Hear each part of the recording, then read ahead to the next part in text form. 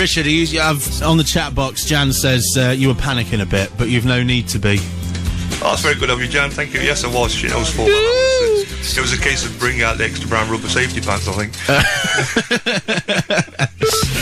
The Zone with Jay Summers. So, picked another track we're going to play in a sec. Queen, Tie Your Mother Down. Everyone likes Queen, don't they? Absolutely. yeah. I mean, people say they don't, but come on. Uh, went to see him a couple of times way back, you know, in the 70s, the uh, Live Killers tour. Oh, yes, I was there. Ah, fantastic. You, you never see a live show like that. Yeah. They are amazing. I followed him around with Paul Rodgers. Yeah, yeah, I did. And that was unbelievable. Fantastic gig. And I thought, if if Paul Rodgers is that good, how good's the master going to be? You know. The boys. And uh, if there's one band I would have loved to have seen, it's that. But unfortunately, I'm about 12 years old, so I didn't. Yeah, I, I went to the same thing. Too young to go and see him on the Works tour, and that was it. yeah.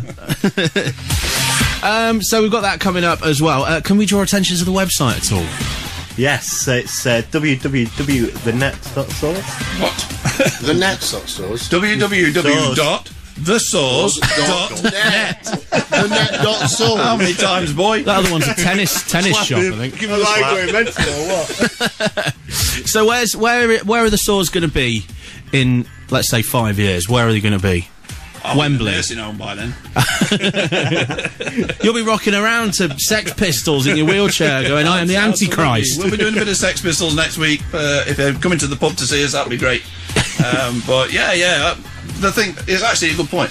I don't think you're ever too old to play or enjoy music, and and, and I think our generation has, you know, we've grown up with pop music, rock music, and this whole different way of thinking now. And like I say, what you like is just down, down to how old you are, isn't it? Yeah. Yes, Grandad. no, there's no right or wrong. So uh, live music, you love playing live, I'm presuming. Absolutely. And uh, has it ever gone wrong? Oh. Oh yes. We got any stories?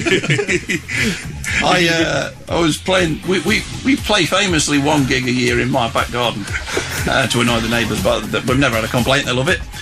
And this year, when we were going to play, I uh, spun round before the very first song, and with my bass guitar, knocked the music stand into my pond, which was very spectacular and you know embarrassing. Well, I was practicing when I was uh, well. We moved into a new house, and the neighbours could see straight into the room where we used to have the guitar and the drums, drum kit, and we were playing around. And every time this, you know, sort of old chap uh, was looking out the window, and he'd look straight through the our window and look at me and scowl like that.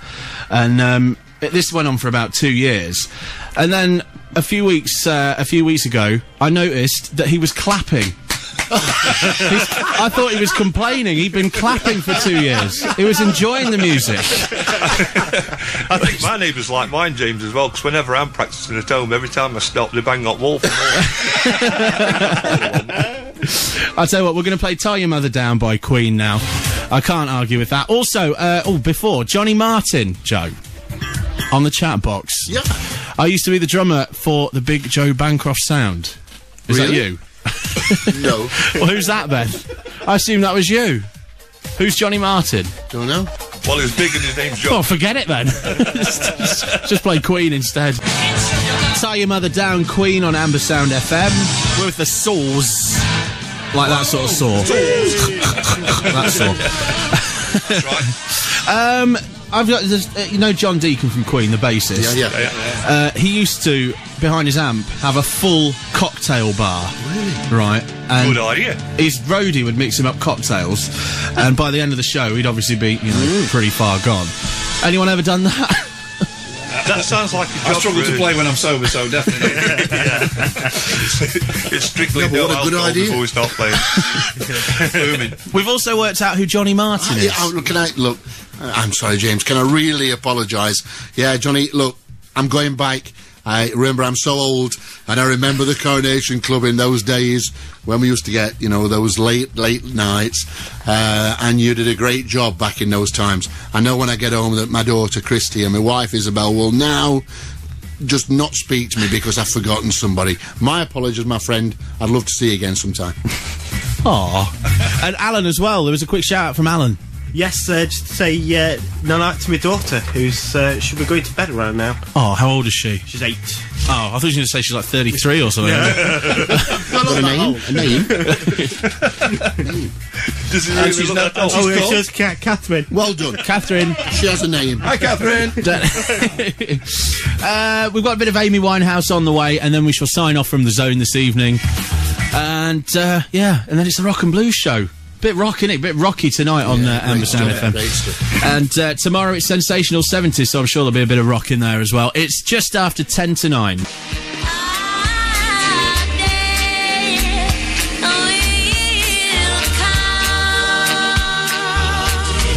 Shall I do the old joke? What did the uh, Scouse man say when he noticed uh, someone had robbed from his vineyard? Well, Amy Winehouse. We, we let him do that.